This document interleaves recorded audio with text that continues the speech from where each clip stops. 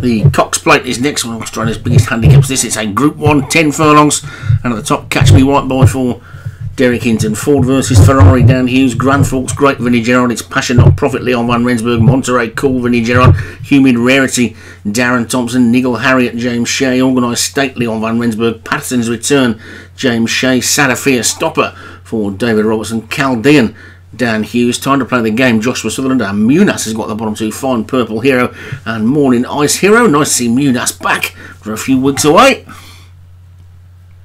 And they're installed and ready to go and away they go. And Organised State and Morning Ice Hero are the first two the show. Time to play the game is after that. Then Ford versus Ferrari is next.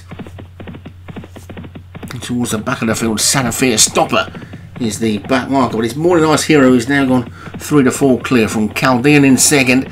Then comes Organised State and Catch Me White Boy. Ford versus Ferrari is next, and then it's Passion Not Profit really wide on the track. The two of James Shea's horses are the back to, as you would expect, Nigel Harriet and Patterson's return. It's Morning Ice Heroes got the lead from Catch Me White Boys about four lengths down in second. Chaldean is third. On the inside of that one is Organised State.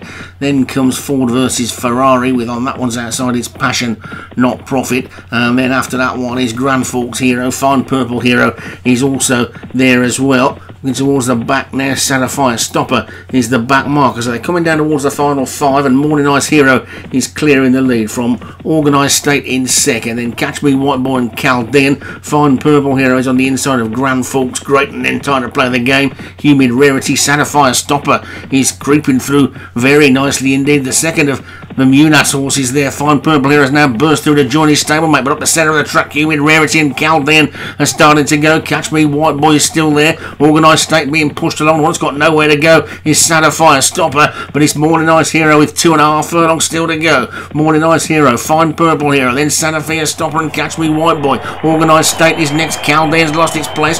Wide on the track, Organised State and Grand Forks. Great time to play the game. Hasn't got into it yet. The two James Shea horses starting to try and make some ground with Patterson's Patterson's return's got a lot of horses in front of him. The one that's coming through there nicely is Niggle Harriet. They're inside the final half furlong there, and it's Fine Purple Hero from Niggle Harriet and Santa Fire Stopper.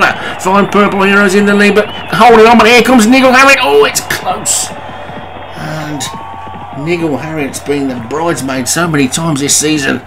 It would be nice if she got up and won it, but it would also be nice if Munas got himself a big race win after being away for a couple of weeks. It's close.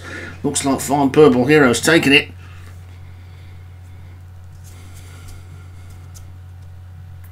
It has indeed fine purple hero for Munas. The three-year-old filly takes it. Niggle Harriet for James Shea. So unlucky all season, finishing beyond Patterson's return. Usually beat Patterson's return easily today, but still found one too good. Santa Salafia stopper for David Robertson was third. Patterson's return, James Shea was fourth, and Grand Forks Great for Vinnie Gerard was back in fifth.